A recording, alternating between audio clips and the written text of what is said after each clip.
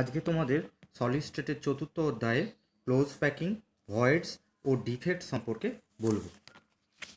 প্রথমে বলি ওয়ান ডাইমেনশনালে কণাগুলি কীরকমভাবে থাকে এক্স ডাইরেকশানে পরপর পরপর এরমভাবে সজ্জিত থাকে। টু ডাইমেনশনালে ইহারা কীরমভাবে সজ্জিত থাকে পর পর এরকমভাবে সজ্জিত থাকে, হুম একটির নিচে একটি একটির নিচে একটি এরকমভাবে। প্রতি ক্ষেত্রেই একটি করে স্কোয়ার তৈরি হয়। এই জন্য এর নাম স্কোয়ার ক্লোজ প্যাকিং আবার অন্যরকমভাবে দুটি কণার মাঝে একটি করে কণা, দুটি কণার মাঝে একটি করে কণা এরমভাবে সজ্জিত থাকে। তাহলে দেখা যায় ছটি কণা নিজেদের ভেতরে সরভুজাকৃতির একটি স্ট্রাকচার তৈরি করে, একে বলে হেক্সাগোনাল ক্লোজ প্যাকিং থ্রি ডিতে এরা পরপর স্তরে সজ্জিত থাকে, প্রতিটি স্তরে অণুগুলি থাকে, তার উপরের স্তরে অণুগুলি থাকে, তার উপরের স্তরে অণুগুলি থাকে। এভাবে এক্স ডাইরেকশন ওয়াই ডাইরেকশন এবং জেড ডাইরেকশানে থ্রি ডিতে ইহারা সজ্জিত থাকে। কণাগুলি যখন থাকে নিজেদের ভেতরে তাদের মধ্যবর্তী স্থানে, তাদের মধ্যবর্তী স্থানে কিছু পরিমাণ ফাঁকা অংশ দেখতে পাওয়া যায়। এটাকে ফাঁকা বা ভয়েড বলে। এই ভয়েড দুই প্রকারের হয় টেট্রাহেড্রাল ভয়েড এবং অক্টাহেড্রাল ভয়েড টেট্রাহেড্রাল ভয়েডগুলো কীরকম হয়? যখন তিনটি কণা নিচে কালো দাগ দিয়ে লিখেছি, এই তিনটি কণার মাঝের যে মাঝের যে ফাঁকা অংশটা ঠিক ওপরে যখন ওপরের স্তরের একটি কণা থাকে, তখন যে ভয়েড তৈরি হয় তাকে বলা হচ্ছে টেট্রাহেড্রাল ভয়েড অনুরূপভাবে অক্টাহেড্রাল ভয়েড কীরকমভাবে তৈরি হয়? তিনটি কণা কালো রেখা দ্বারা অঙ্কিত করা আছে। তার উপরে লাল রেখা দ্বারা যদি আরও তিনটি কণা এইরকমভাবে সজ্জিত থাকে, ঠিক যেমন এরকমভাবে, আর তার ঠিক ওপরে লাল কণাগুলি সজ্জিত থাকবে এই রকমভাবে তাহলে যে ভয়েড তৈরি হয় তাকে বলা হচ্ছে অক্টাহেড্রাল ভয়েড। ধরা যায় একক কোষে কণার সংখ্যা যদি এন হয়, তাহলে অক্টাহেড্রাল ভয়েড হবে কত? ঠিক ততগুলোই এন সংখ্যক। টেট্রাহেড্রাল ভয়েডের ক্ষেত্রে যদি একক কোষে কণার সংখ্যা এন হয়, তাহলে টেট্রাহেড্রাল ভয়েডের সংখ্যা হবে টু এন সংখ্যক। অর্থাৎ চার যদি কণার সংখ্যা হয়, অর্থাৎ এফসিসির ক্ষেত্রে আমরা দেখি চার হচ্ছে কণার সংখ্যা, তাহলে তাদের ক্ষেত্রে ভয়েড হবে টেট্রাহেড্রাল ভয়েড কত হবে? আট। এখান থেকে ম্যাথ পড়ে, এটা খুব ইম্পর্টেন্ট কীরকম? এ বি এরকম যৌগ, যার বিটা টেট্রাহেড্রাল ভয়েডে থাকে। আর এ এ এলিমেন্টে এফসিসি ল্যাটিস পয়েন্টে থাকে যদি, তাহলে তাদের সংকেত কী হবে? সংকেত নির্ণয় করতে দেয় ধরে নেওয়া হলো যেহেতু এটা এস যেহেতু এটা এফসিসি তাহলে N is equal to four tetrahedral void হবে two N is equal to eight তাহলে A is to B is equal to four is to eight is equal to one is to two অর্থাৎ A B two এই হচ্ছে এদের সংকেত।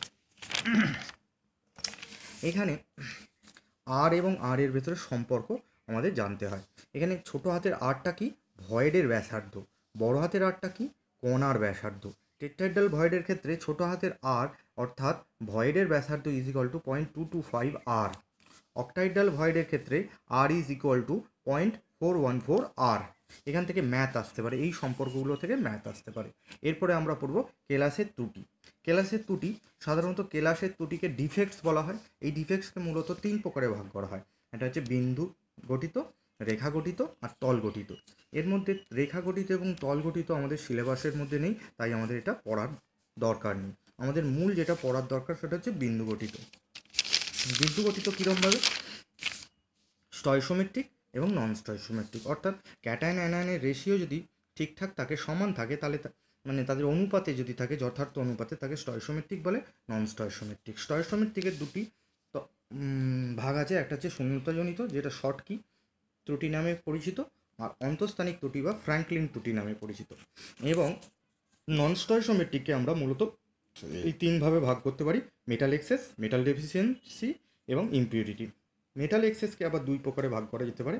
একটা হচ্ছে anionic শূন্যতা এবং অন্তঃস্থানিক ক্যাটায়ন হুম, এই দুই ভাগে ভাগ করা যায়। এবার আমরা প্রতিটি ডিফেক্টসকে আলাদা আলাদাভাবে জানব।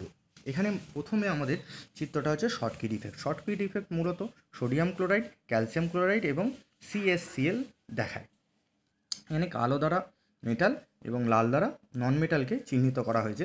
এখানে দেখা যাচ্ছে মেটাল এবং নন মেটাল দুজনই মেটাল এবং নন মেটাল সে দুজনই তাদের ল্যাটিস পয়েন্ট থেকে বেরিয়ে চলে গেছে। বেরিয়ে চলে গিয়ে তাহলে একটা কি? অনুপাতটা, তাদের যা থাকার কথা তাই রয়েছে, অর্থাৎ স্টয়সোমেট্রিক ত্রুটি দেখা যাচ্ছে। ইহার ফলে ঘনত্ব কিন্তু হ্রাস পায় যেহেতু ক্যাটায়ন এবং অ্যানায়নের সংখ্যা কমেছে। ফ্র্যাঙ্কলিন ডিফেক্ট কি?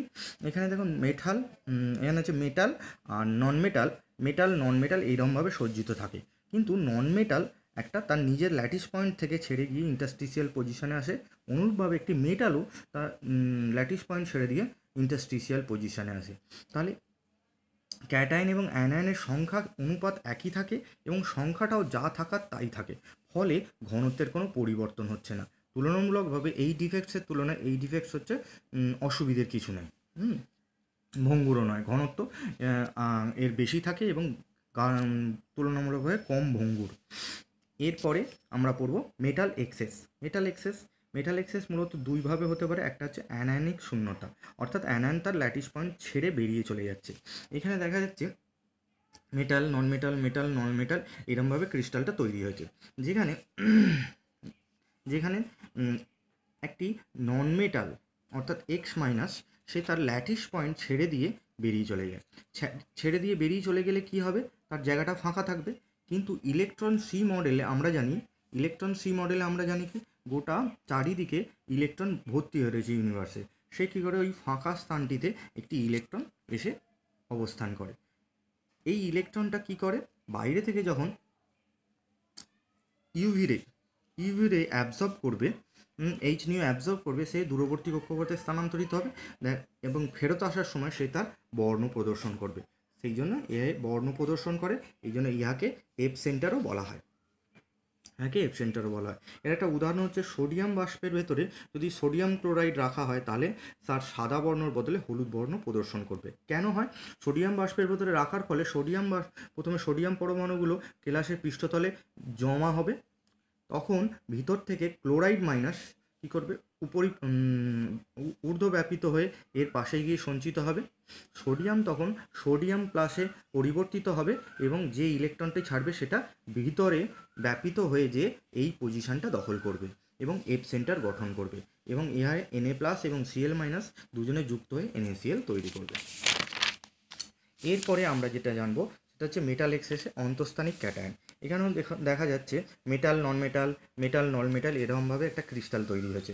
কিন্তু কোনোভাবে যদি একটি মেটাল তার নিজের ল্যাটিস পয়েন্ট ছেড়ে দিয়ে ইন্টারস্টিশিয়াল পজিশনে এসে অবস্থান করে এবং নন মেটাল অ্যানায়নটি বাইরে কোনোভাবে বেরিয়ে যায় এবং ইলেকট্রনটা ছেড়ে দিয়ে যায় তড়িৎ প্রসমটা বজায় রাখার জন্য। তাহলে যে ধরনের ডিফেক্টস পাবো সেটাকে বলা হচ্ছে মেটাল এক্সেস ডিফেক্টসের মধ্যে অন্তস্থানিক ক্যাটায়ন এর একটি উদাহরণ জিঙ্ক অক্সাইড। চারকোল বক টেস্টের ক্ষেত্রে সাদা থেকে হলুদ হয়ে যায়, গরম করলে। সেখানে কি হয়? জিঙ্ক অক্সাইডের অক্সিজেনের অক্সাইড আয়ন অক্সিজেন গ্যাস রূপে বেরিয়ে যায় এবং দুটো ইলেকট্রন ছেড়ে দিয়ে যায়। এই দুটো ইলেকট্রন কি করে? মধ্যে একটি ইলেকট্রন দুটো ইলেকট্রনই অন্তস্থানিক পজিশনে অবস্থান করে। কারণ কারণ জিঙ্ক টু প্লাস যে মেটাল আয়নটা রয়েছে সেও অন্তস্থানিক পজিশনে অবস্থান করে। যেহেতু এর টু চার্জ সেই জন্য টু ইলেকট্রন দুজনে পাশাপাশি আলাদা আলাদা অন্তস্থানিক পজিশনে অবস্থান করে। এরকমভাবে তড়িৎ প্রসমতা বজায় থাকে। এটা একটা খুব ভালো ইম্পর্টেন্ট কোশ্চেন কেন জিঙ্ক অক্সাইড হলুদ হয়ে যায় চারকোল বক টেস্টে এরপর মেটাল ডিফিসিয়েন্সি টেস্ট যেখানে হচ্ছে মেটাল ডেফিসিয়েন্সি কীরকম হয়? কোনোভাবে যদি একটা মেটাল তার পজিশন থেকে ছেড়ে বেরিয়ে চলে যায়, তখন পার্শ্ববর্তী কোনো একটি মেটাল ল্যাটিস পয়েন্টে তার একটা চার্জ বৃদ্ধি হয়। এটা হচ্ছে মেটাল ডেফিসিয়েন্ট হুম ত্রুটির মধ্যে উদাহরণ। আর এটা হচ্ছে ইম্পিউরিটি ইম্পিউরিটির ক্ষেত্রে যখন সোডিয়াম ক্লোরাইড ক্রিস্টালকে আমরা কেলাসিত করি, তার ভেতরে যখন এসআর সিএল টু যোগ করা হয় এসআর সিএল টু কোনো একটি পজিশনে বসে যায়, ফলে দুটো ল্যাটিস পয়েন্ট থেকে সোডিয়াম বেরিয়ে যায়। দুটো ল্যাটিস পয়েন্টের বদলে একটি এসআর সিএল টু সেখানে এসআর এসআর টু প্লাস সেখানে গিয়ে অবস্থান করে। এখান পর্যন্তই তোমাদের পরের দিনে পরের ক্লাসে বলব।